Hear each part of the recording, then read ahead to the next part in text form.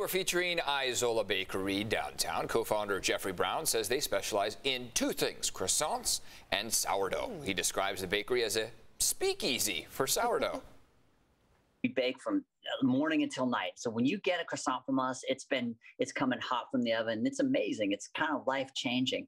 Yeah, keep on going. So Brown says everything at Izola is handmade and the sourdough only has four ingredients in the recipe. You can find the bakery located in historical photo studio on 13th Street downtown and we've featured these guys before. We certainly did. Yeah, they are number one on Yelp for bakeries in the entire country, Izola Bakery. And they're pretty new, only opened Right. at the start of the pandemic as a passion project. Yeah. And there you go, uh, making number one on Yelp. And then, of course, us here in town get to enjoy them. A lot of-